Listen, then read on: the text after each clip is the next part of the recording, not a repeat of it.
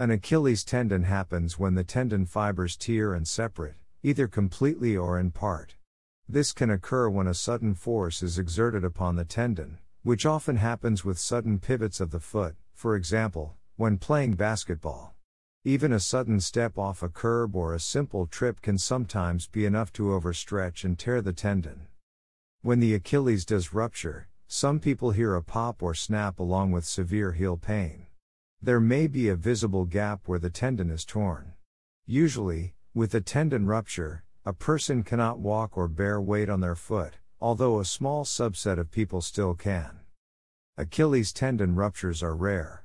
In unusual cases, a class of antibiotic drugs called fluoroquinolones has been associated with Achilles tendonitis and rupture.